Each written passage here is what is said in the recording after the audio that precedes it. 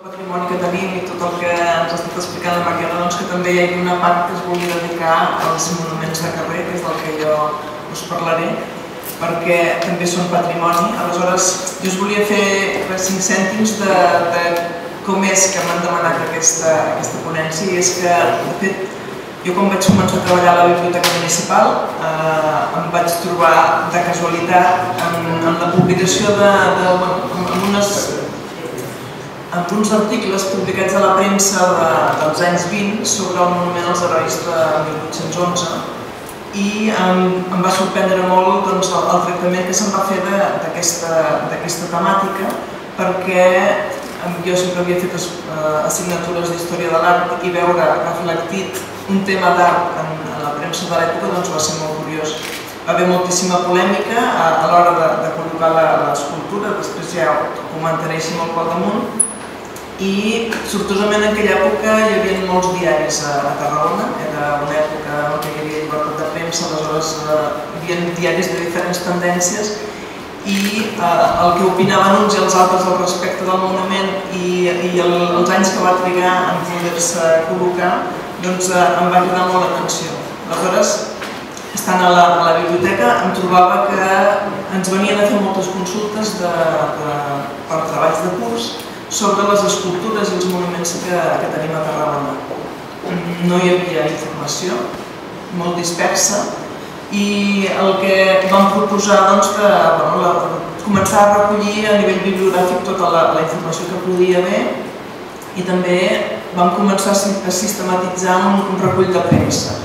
Qualsevol notícia que sortia d'una escultura d'un monument a Tarragona, de carrer, doncs, la, la vam anar recollint amb els anys això ha servit doncs, per iniciar molts treballs i eh, el que vam fer, doncs bé, es va plantejar la possibilitat de, de poder fer un llibre amb tot el que s'havia anat recollint. Aleshores, eh, el, el llibre aquest eh, el vam fer Joan Gisbert i Canes, és un, el llibre es titula Tarragona, escultures làpides i fons, monuments i elements decoratius als carrers de la ciutat. Vam ser tres persones més que hi van col·laborar, des de la Manoteca de la Caixa, des de la Biblioteca Municipal. I en aquell moment, doncs, en el llibre el que vam fer va ser eh, comptabilitzar 50 escultures a Tarragona.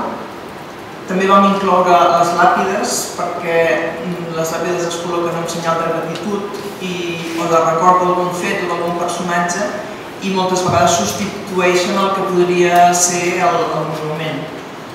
Vam comprovar que la, majoria part, la major part de les escultures públiques a Tarragona doncs, són modestes, tant en els materials com en la seva significació, i també vam afegir les fonts, perquè en alguns casos les fonts que hi havia a Tarragona doncs, també tenien la seva vessant d'homenatge. La font del centenari és la més coneguda, però no sé si recordareu les fonts que hi havia a, a la, bueno, el, el, que era el Conde de Vallellano i Avinguda de Pius XII, que eren unes fonts dissenyades per Pedro Alejandro Salas, que simbolitzaven l'expansió econòmica de la ciutat. Es van posar als anys 70 i representaven la pesca, l'agricultura, la indústria i el turisme. Es van retirar eh, quan es van fer les obres tant del pàrquing de la Rambla com del pàrquing de, l'actual Avinguda Lluís Companys. Després, eh, bueno, el que hem vist que 14 anys després, aquest, aquest llibre es va publicar l'any 2002, doncs 14 anys després caldria evidentment una revisió de, de, de totes les escultures que, que tenim, perquè algunes s'han canviat de lloc, altres s'han afegit de noves, tot i que no, no masses, no és una ciutat que, que, on hi tinguem molts monuments. Llavors, una reflexió que ens vam fer en aquell moment va ser eh, que bueno, vam constatar que la dona no apareixia a les escultures de Tarragona. Jo en, en aquesta ponència mm, he anat plantejant algunes qüestions a l'hora de preparar-ho i són les que us aniré exposant una miqueta doncs, per, bé, no sé si seran les mateixes o no, que puguem tenir tots, no? però, per exemple, la dona no hi apareix eh, en format com, com a dona, homenatjada amb una dona. Normalment formen part d'un grup escultòric o com una alegoria. Com a grup escultòric tenim la família pescadora del Serrallo o el monument al doctor Ferran al Camp de Mar. I com a alegoria tenim el monument als herois de 1811, en què la figura femenina representa la ciutat que, que suporta els, els seus fills màrtirs i un altre exemple és l'escultura de la Constitució, que també és una figura femenina que es troba a Bonavista i està concebuda com una, bueno, va ser concebuda com un element decoratiu a la, a la façana del teatre principal.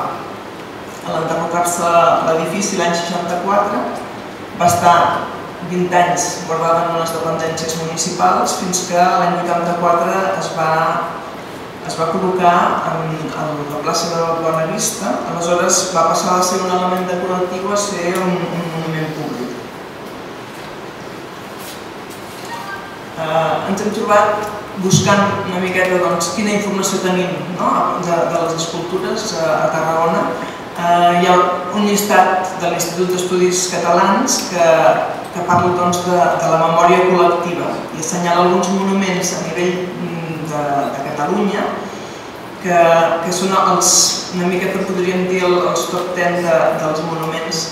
Eh, ha una llista dels de, cinc monuments més, més representats a, a, a Catalunya serien eh, d'aquests quatre els tenim nosaltres a Tarragona. Per exemple, el monument, el número 1 seria els defensors de 1714, 11 de setembre, Rafael Casanova, depèn de, de cada lloc se li diu d'una manera.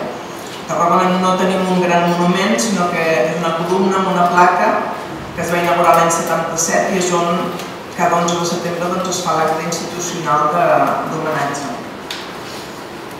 El segon monument, eh, en nombre de, de, a nivell català, eh, és el monument a la Sardana, com a mostra de, de folklore i també com un signe d'identitat. Aquí a Tarragona tenim dos monuments, que seria el de la Rambla Nova, que abans estava al Camp de Mar, de Josep Maria Brull, i un altre, Sant Pere i Sant Pau. Tots dos es van inaugurar amb motiu de Tarragona quan va ser anomenada ciutat covilla de la Serrana, l'any 73. El tercer lloc l'ocuparia Lluís Companys, que dedicat al, al primer monument a Lluís Companys li van fer al seu poble natal l'any 79 i a Tarragona no tindrà un monument propi fins l'any 2005, en què després de molta reivindicació ciutadana doncs, es va construir, es va vestir el monument a, a Marius Companys. Una altra escultura eh, és, bueno, crida l'atenció, és la d'Anselm Clavé, promotor del cant coral popular, que a, Catalunya s'han aixecat monuments en Sant Clavé inclús durant el franquisme, i a Tarragona el tenim a la plaça Cronista Sasser. Són monuments molt... Vull dir que a vegades passen desapercebuts, però en tenim un.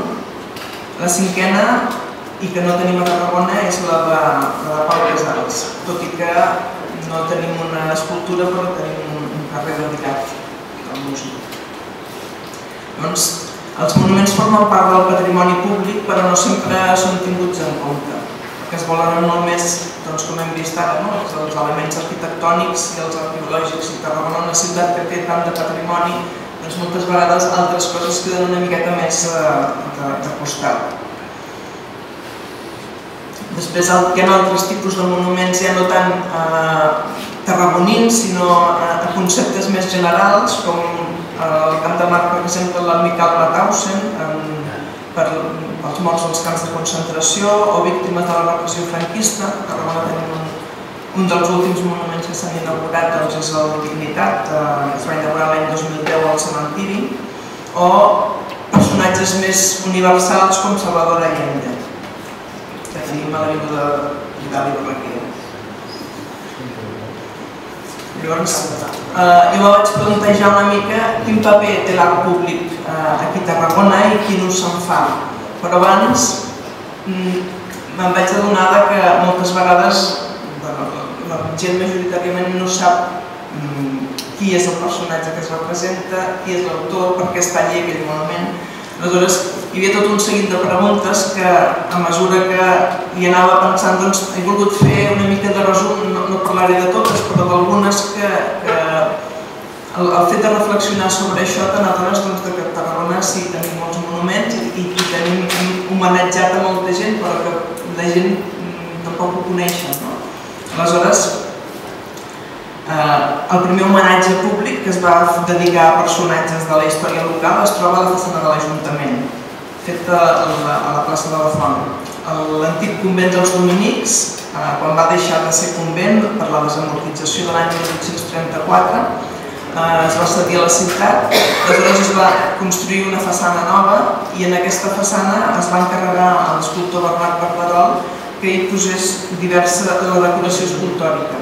Aquesta decoració eh, explica diversos períodes de la història de la ciutat amb personatges i a la balustrada superior eh, hi trobem els nou bustos de personatges vinculats a la ciutat. N'hi ha per la ciutat i cinc a la província. Seria el, primer homenatge que es fa a, a personatges de la història local. Després el, bueno, conegut el, el Roger de Llúria, que és en diferència el més destacat per la seva grandària, la concepció i per l'impacte que, que va exercir en l'espai urbà. Aquest és una típica escultura de, monumental del segle XIX que, en la que s'estableix una col·laboració entre l'arquitecte i l'escultor. Ramon Sales Agricomà va ser l'autor del pedestal, un pedestal de grans dimensions, com era habitual en aquella època, i l'escultor va ser Fèlix Ferrer Calzaran, que va fer una escultura que, si bé és una escultura que si la poguéssim veure de prop en contemplaríem molts més detalls, però en aquella època el que es feia doncs, era fer uns grans pedestals on també hi havia part d'informació de la història de, del personatge amb els relleus o amb els baix relleus que hi poguessin haver. Després, a nivell de commemoratiu i d'homenatge a personatges, faig un repàs molt pel damunt. Tenim a mossèn Tomàs, a l'avi Virgili, aquests com a escultures, uns altres com a bust, que tenim a Joan Serra Vilaró, a el metge Josep Roig o Eduard Saavedra. En una altra categoria ja tindríem el, el que són els monòlits o plaques de, amb inscripcions per recordar personatges vinculats a Tarragona, com Ricardo de Orueta, el passeig arqueològic, que moltes vegades són, són monòlits que tampoc no criden l'atenció a la persona que, que, que passeja, no sé que sigui un, un, amb una placa molt, molt artística. No? Moltes vegades veiem a, a tarragonins i forasters no? fotografiant sobretot les escultures de la Rambla, doncs des del Roger de Llúria, l'Avi Virgili, el, els herois, la Font del Centenari o els castells, que són potser les més fotografiades, però mm, no, no, no saben eh, què representa. No? Aleshores, en aquest punt és el, me plantejava doncs, eh, què s'ha fet per donar a conèixer aquestes, aquestes escultures. A veure, la, la més coneguda i popular és el Monument als Herois i, i se li ha dedicat moltíssim, se li han dedicat llibres, eh, exposicions. El Museu de la Diputació té un espai amb exposició permanent, i fan tallers escolars. Hi ha algunes escultures que sí que tenen moltíssima informació.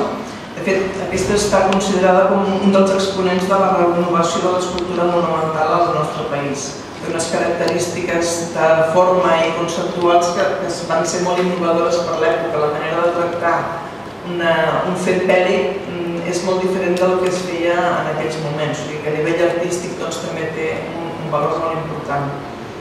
Després de, es va fer una campanya des del Museu d'Història, que era l'Escola d'Octa Monument, que a partir del treball que es feia a, a nivell de les, de les escoles i l'administració doncs, eh, es feien treballs eh, i, i temes pedagògics amb, amb, amb monuments, ja siguin arqueològics, però també van haver que, que es van dedicar a, a donar a conèixer aquest patrimoni més de, del carrer. Després altres instituts doncs, han, fet eh, el millor treballs més específics, però és tot una miqueta dispers. No? Aleshores, què ens podem plantejar de cara al futur? Al futur què, què es pot fer? En primer lloc, s'ha de saber què tenim de, de, de tot, fer, o sigui, fer, fer un inventari, què tenim i on ho tenim. Uh, per exemple, a partir de dos llibres que vam publicar a, a Girona, es, va, es, van, es van publicar dos llibres sobre les escultures de carrer i, i llavors es, es va aprofitar per, per fer, avaluar una miqueta l'estat en què es trobava doncs, l'escultura ubicada als espais públics. Eh, es va organitzar un projecte, està penjat a internet i és molt curiós perquè bé, el, el te permet doncs, eh, per barris de la ciutat, per temàtica, per període històric o autor, saber doncs, quin autor és el que té més, més monuments eh, dedicats a... O sigui, quin autor ha fet més monuments a la ciutat, eh, els anys en què s'han fet més, més obres, aleshores te permet jugar una miqueta amb, amb, amb decidir tu quin recorregut vols fer a, a, a la ciutat. Eh, el, el no ser una publicació en paper el que té l'avantatge que es pot anar revisant i qualsevol informació s'hi pot, anar, pot anar incorporant, tant si són canvis d'ubicació com, com nous estudis.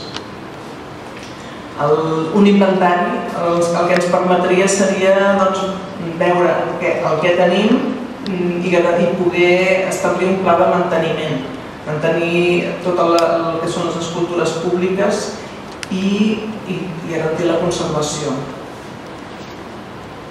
Després de l'inventari, la senyalització, no de tots els monuments, però d'una bona part de, dels monuments, els que són més representatius, eh, seria, seria interessant doncs, perquè la gent ho conegués.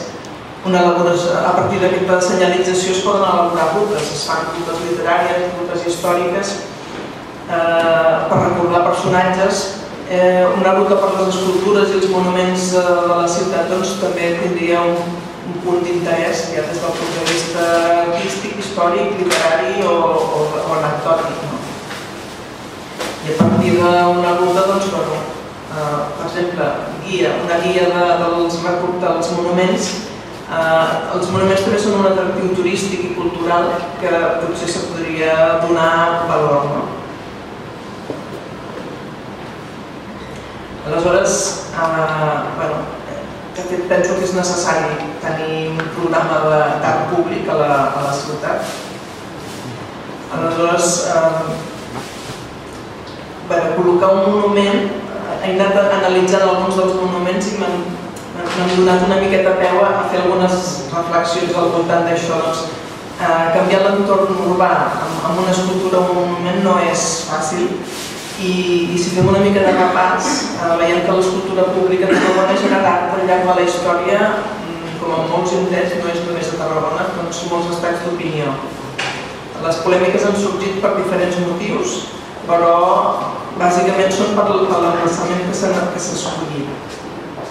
Algunes de les escultures sembla que cobrin vida aquí a Tarragona perquè han anat itinerant per diversos espais.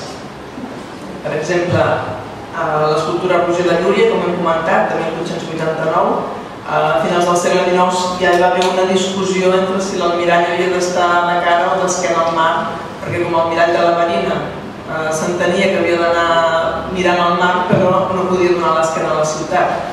Tot això va generar tot un seguit de, de, de polèmiques eh, en el moment.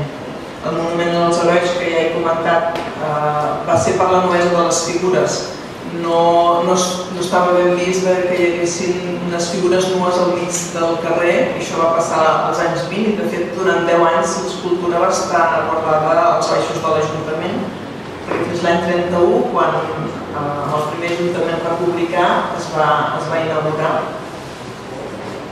va generar molta, molta polèmica no? a nivell de l'església, de, la Guardentosa on vivien al davant i era una persona conservadora que va, des, no, va marxar i tot de viure allà per no tenir l'escultura al davant de casa, hi havia un col·legi de monges, i tot això va generar que ara ho veiem com una cosa mm, molt superflua, però en aquell moment doncs, va tenir la seva importància, cada cosa en el seu context. No?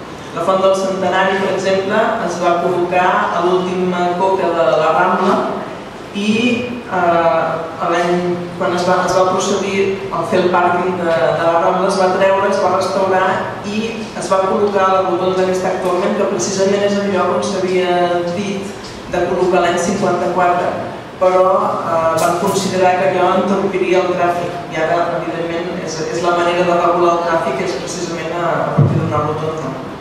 El monument als castells també va generar polèmica, fins i tot es va fer una consulta ciutadana per veure on es col·locava. De fet, eh, havia sortit eh, col·locar-se al tram de Rambla durant eh, la plaça Imperial Càrrega però per temes de, de visualment era molt més, eh, resaltava molt més eh, una miqueta més amunt, que és on es va acabar col·locant. Llavors, a veure, en aquest punt és, és molt important la planificació. Les escultures no, no han de ser només objectes decoratius per, per un entorn, sinó perquè en aquest cas poden arribar a fer nosa, sinó que s'ha de col·locar en un espai pensat.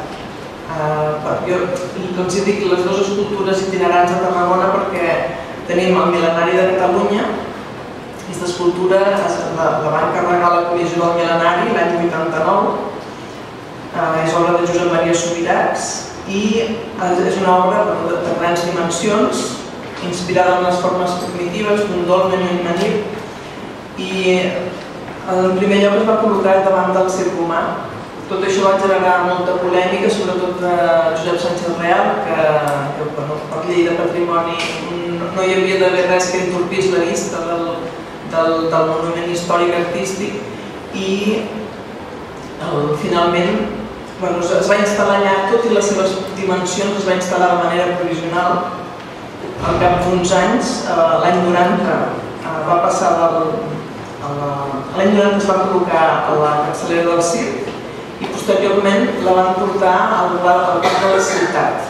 Allà sí que es podia contemplar bé, no hi havia cap problema, però l'any 2007 es va tornar a canviar el, i està en una roda a la, a la Via Augusta. Ara passa molt inadvertida, és una escultura que no està en un lloc per ser vista, sinó que la gent passa per allà i evidentment no, no, no la veu. Una altra escultura que trobem en un cas molt similar és la DAM de l'escultor israelià David Susana.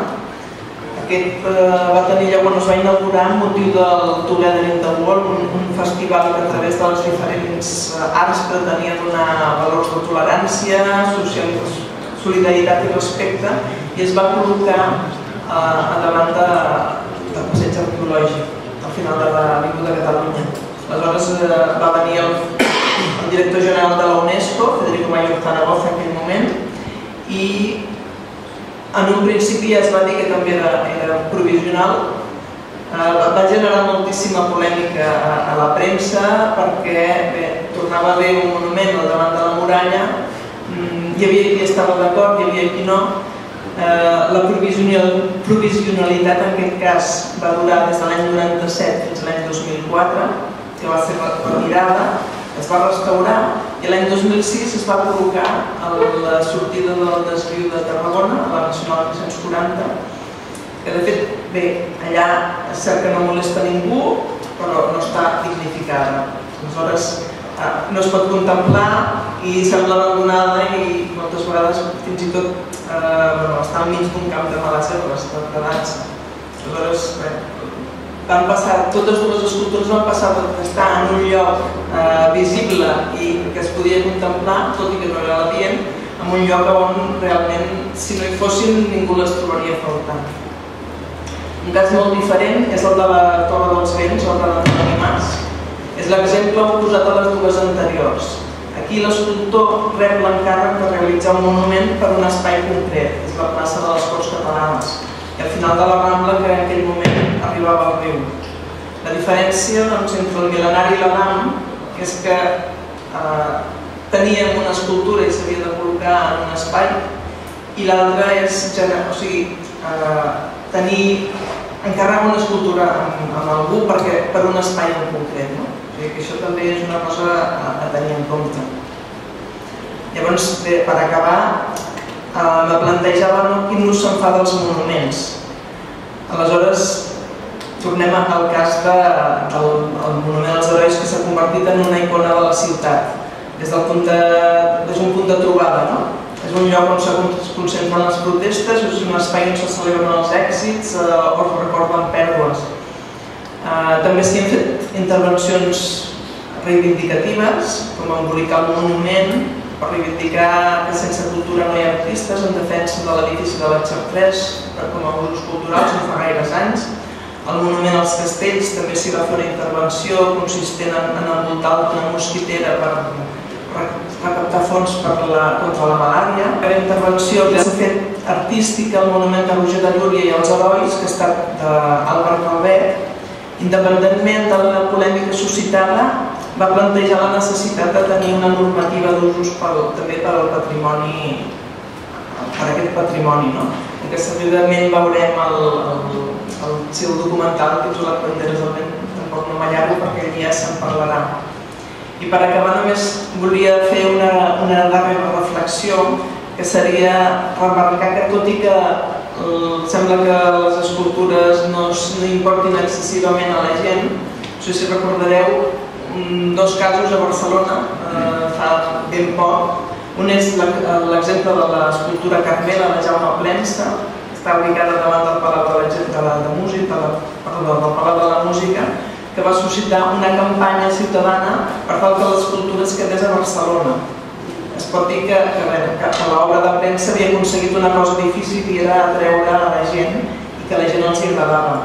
De l'altra banda, i en el mateix moment, eh, l'escultura del general Franco a cavall davant d'una exposició temporal a l'exterior del Born va haver de ser retirada per la forta polèmica i oposició dels ciutadans que van acabar fent-la malament.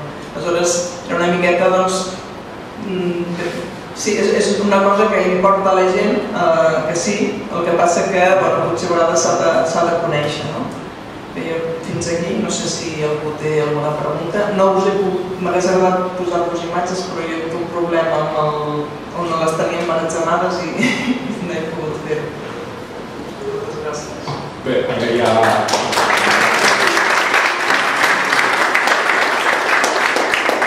arriba a l'Helena Virgili la, la seva exposició i també ella doncs, té, té un, alguna pregunta, si es pot que sigui breu perquè anem una mica de retard i voldria també veure la pel·lícula que de la des del que comentava ella.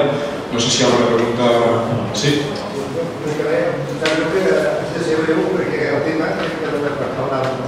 Després de falta la raó també podem incidir en, altres qüestions.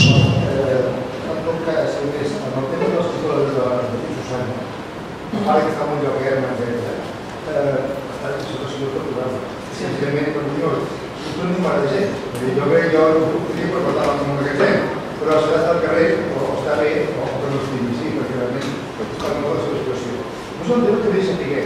Um, quan va ser més a Tarragona, en quina sèrie de relleus de zona de ja són tots, els seus en edificis que són públics, però són semipúblics, perquè en cases de la seva naturalesa D'això de fer un seguiment, sabem o si els han perdut o general, no queda català d'inventari d'això? Jo, la veritat és que no, no ho sé. El que sí que és una, una cosa important, o sigui, aquests elements ara m'ha fet pensar en l'edifici 1964 que hi ha a la, a la Rambla Nova, antic Vallellano, que és, és una, una ceràmica de Sobirats que també passa molt desapercebuda i és un dels elements que, tot i que no siguin públics, també s'haurien d'inventariar. Aquest tipus d'elements, doncs, valdria la pena que estessin en, en aquest, en aquest catàleg, diguéssim, en aquest inventari. Fins i tot de Sobirats hi havia un, una ceràmica també dintre d'un edifici al carrer Ramon i Cajal, que, que quan es va fer l'exposició d'homenatge a Sobirats no fa massa, eh, es veu que bueno, eh, la gent volien o sigui, els propietaris de l'edifici doncs, van tenir la idea de, treure perquè bueno, allò els hi feia, no, no, sabien que tenien una obra de, de Sobirà. Crec que hi ha, hi ha molts, molts elements d'aquest tipus que també val la pena doncs, de, de tenir-ho controlat. Aquest que m'ho comentes, la veritat és que no sé. Per al·lusió indirecta, Pau, preguntaves, espera, ni, ni distreu, preguntaves per la protecció de quin edifici? No, vaig dir que aquesta pregunta, per exemple, sí. en molts diferents oficines, molts de dues allà, sí. que la separació d'això, no sé si, si per això hi ha l'inventari, i saps, saps què s'ha de fer.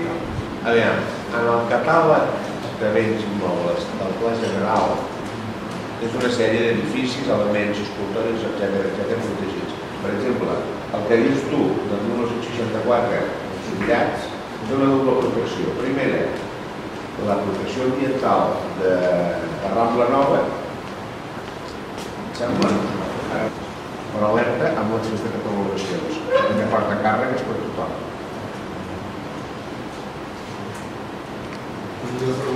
Sí, sí, si es veu, sisplau.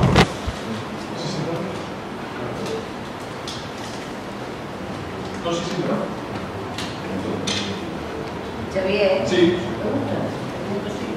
Sí, s'havia implementat ara els dos relleus que hi ha a la façana de l'Hospital de que considerar l'estructura habitualment de baix programada per l'esquerra dos peces. Ara l'altre seria preguntar com és que tenim dos cossos de la relleu a la ciutat i no tenim dos de l'any o fins i tot de Sí, de ja que posem, tenim dos. Com funciona? Per tant, I tres, eh, el principal ús de l'estàtua del Servei de 1811 és penjar a calces, biquinis, cada dimarts i cada dijous. I aquest ús no s'ha augmentat, perquè jo crec que és molt important, perquè es manté durant, bueno, pràcticament tota la ciutat. I, per tant, jo crec que forma part de la cultura cutre de la Sí, bé, jo suposo, eh, referit amb això de, del mur de, dels herois, eh, havia de ser una cosa momentània, bueno, de, per poc temps el, el, el mercat allà, no? O sigui, la, la cosa, doncs, no sé com, acabarà quan estigui el mercat inaugurat, però això, no, sé, això, això sí que jo no, no te sabria. Jo sí que t'ho dic. Quan s'inauguri el mercat, el mercadet torna al seu lloc. seu lloc seria la llera de Frankfurt. Bueno, Xavier, això ja és opinió. Eh? No entrarem en aquest El lloc. que és lamentable és que cada dijous i cada dimarts hi ha En tot cas, un mal ús del monument que sempre sí que és el més emblemàtic. Bé. Així es pot parlar. Si, si et sembla, Maria, ho fem després, perquè anem una mica de tard, ho fem després amb la, amb la Paula Rodríguez. Moltes gràcies. Passem a veure ara sí la, la pel·lícula de, de Banderes al